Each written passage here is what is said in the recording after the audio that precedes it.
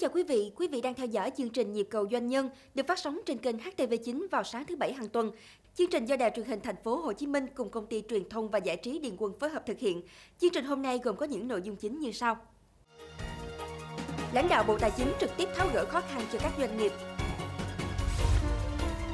số động thị trường lịch xuân Bính Thân năm 2016 Nhà tuyển dụng sẽ làm gì khi nhân viên cũ quay về?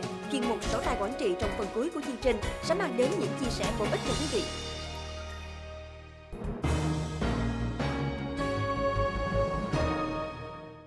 Thưa quý vị, nhiều khó khăn vướng mắt của các doanh nghiệp đã được lãnh đạo Bộ Tài chính trực tiếp giải đáp tại hội nghị đối thoại giữa Bộ Tài chính với doanh nghiệp về chính sách và thủ tục hành chính thuế hải quan năm 2015 vừa diễn ra tuần qua tại thành phố Hồ Chí Minh. Theo Phòng Thương mại và Công nghiệp Việt Nam VCCI, trong 2.900 doanh nghiệp tham gia một khảo sát gần đây về việc thực hiện thủ tục hành chính trong lĩnh vực thuế 2014, thì 92% doanh nghiệp cho rằng các thủ tục hành chính về thuế và hải quan đã có nhiều thay đổi tích cực.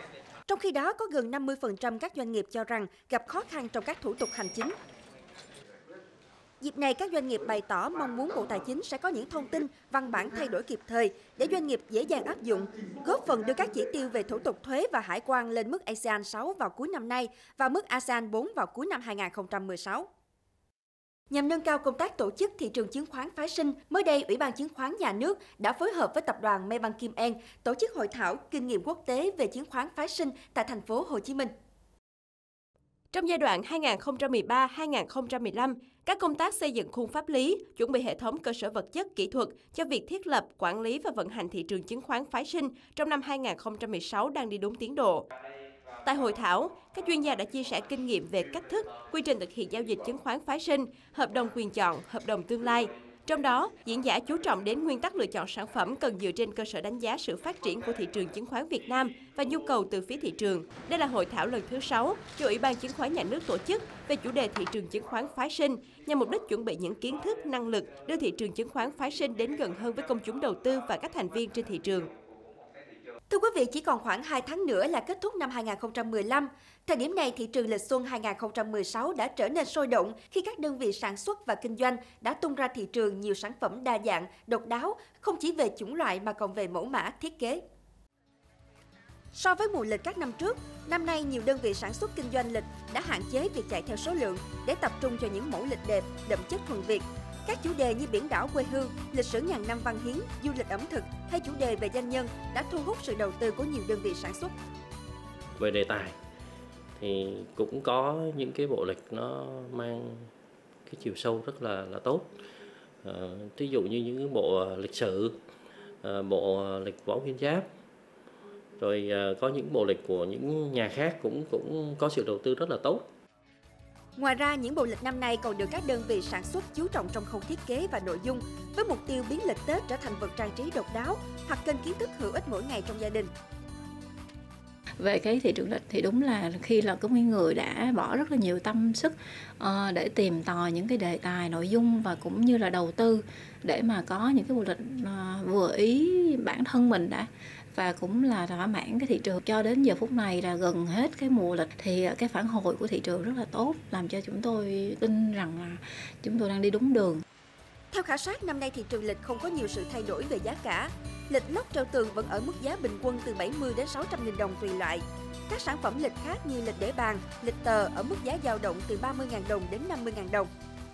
Cái khổ 20, 15 20 thì giá nó 68 ngàn cho đến À, 240 rồi à, ba trăm rưỡi, bốn trăm ba, bốn trăm tám rồi lên tới à, 600 là giá cao nhất. Sự đầu tư cho chất lượng và ứng dụng nhiều công nghệ in ấn mới đã khiến cho các sản phẩm lịch xuân 2016 có hình thức rất bắt mắt, tạo nên nguồn cung đa dạng và phong phú cho người tiêu dùng trong mùa lịch mới. Thưa quý vị, nhằm tạo sân chơi lành mạnh, vui khỏe cho cộng đồng doanh nhân Việt Nam, vừa qua mùa giải quần vợt 2015 do Hiệp hội Doanh nghiệp Thành phố Hồ Chí Minh tổ chức đã diễn ra với sự tham gia của lãnh đạo các hiệp hội, câu lạc bộ và hơn 200 vận động viên thi đấu. Năm nay giải được tổ chức dưới hình thức thi đấu phong trào, quy tụ các vận động viên là các doanh nhân đến từ các doanh nghiệp với 3 nội dung. Đôi nam trình 1.225 điểm, gồm 43 cặp. Đôi nam trình 1.335 điểm, gồm 43 cặp. Và đôi nữ trình 1.120 điểm, gồm 20 cặp. Kết quả chung cuộc, các giải thưởng thuộc về ba nội dung đã được trao cho các cặp vận động viên với tổng trị giá giải thưởng là 49 triệu đồng. Giải quần vợt Hiệp hội Doanh nghiệp Thành phố Hồ Chí Minh đã trở thành sân chơi định kỳ lành mạnh cho cộng đồng doanh nhân trên địa bàn thành phố và là cơ hội để các doanh nghiệp giao lưu, kết nối giao thương, quảng bá thương hiệu.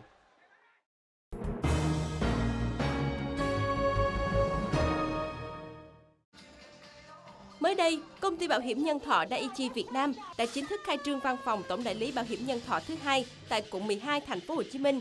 Đây cũng là văn phòng thứ 113 trong hệ thống tổng đại lý của công ty. Thời gian qua, với nhiều hoạt động đóng góp tích cực cho cộng đồng, công ty Daiichi Việt Nam là đơn vị duy nhất tại Việt Nam và châu Á đã đón nhận giải thưởng doanh nghiệp xuất sắc vì trách nhiệm xã hội năm 2015 do tạp chí Bảo hiểm châu Á tổ chức và trao thưởng tại Singapore. Kết thúc quý 3 năm 2015, đơn vị này đã đạt 894 tỷ đồng doanh thu phí bảo hiểm khai thác mới, tăng 40% so với cùng kỳ năm 2014 và đạt 2.327 tỷ đồng tổng doanh thu phí bảo hiểm, tăng 38% so với cùng kỳ. Trong thời gian tới, không ngừng hoàn thiện chất lượng sản phẩm, tạo điều kiện thuận lợi cho khách hàng cả nước tiếp cận các sản phẩm và dịch vụ bảo vệ tài chính là những mục tiêu mà Daiichi Việt Nam hướng đến.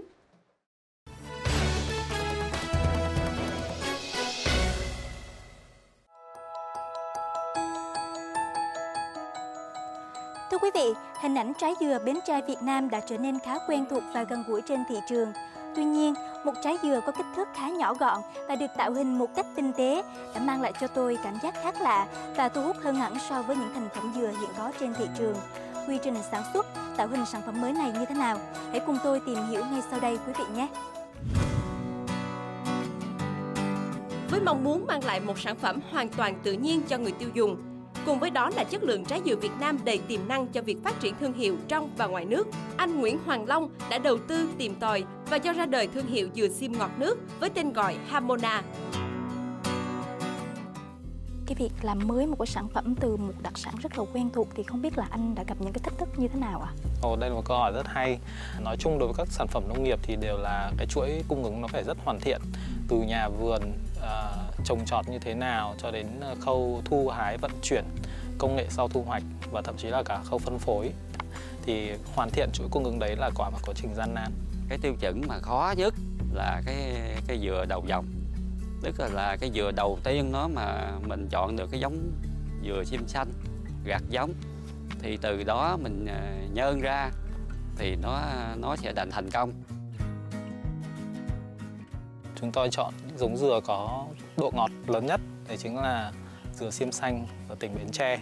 Thì em có nhìn thấy những cái mã số được đính trên cây ấy, thì không biết là tác dụng của nó là như thế nào vậy anh?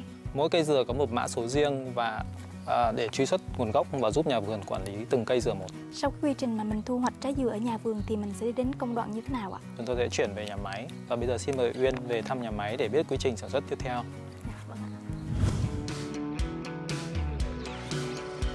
Để đưa trái dừa thuần túy từ nhà vườn trở thành trái dừa Hamona nhỏ gọn, tiện lợi cho việc sử dụng, đồng thời vẫn đảm bảo độ tự nhiên và bảo quản được lâu. Anh Nguyễn Hoàng Long đã nghiên cứu sâu về cách tạo hình, bảo quản, mời những nghệ nhân gọt dừa lâu năm của xứ Bến Tre về xưởng của mình.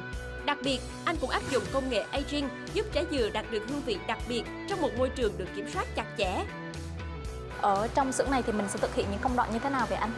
Dừa từ vườn về sẽ được phân lô và mã lô của mỗi vườn dừa sẽ đi theo trái dừa theo suốt quá trình vận chuyển. Dừa Hoa na là được chọn từ những trái dừa ngon nhất.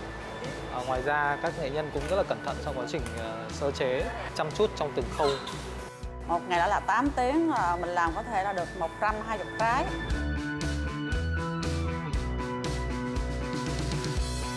Trong thời gian đầu thì nó cũng rất là khó khăn nhưng mà cảm thấy sản phẩm của Hauna là một sản phẩm ờ, nó có mang tính chất tự nhiên, nó là một cái niềm tin để nó thúc đẩy mình cố gắng. Tôi nghĩ là hiện nay thì người tiêu dùng người ta rất là quan tâm đến những cái sản phẩm mà không có hóa chất, đặc biệt là những loại nước dừa, nước tự nhiên như thế này. Và tôi quyết định đưa nó vào siêu thị Ân Nam để mà phục vụ cho khách hàng. Được doanh nghiệp theo sát và chú trọng trong mọi công đoạn sản xuất một cách bài bản, trái dừa Hamona có mùi thơm như kẹo dừa và vị dầu dừa nguyên chất, được xem là sản phẩm tự nhiên cao cấp của thiên nhiên Việt Nam và là đứa con của bà mẹ thiên nhiên.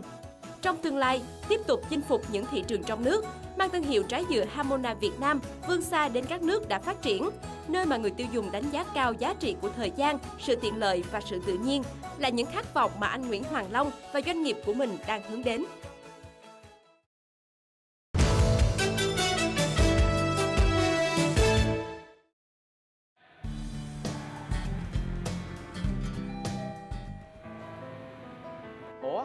Chào anh.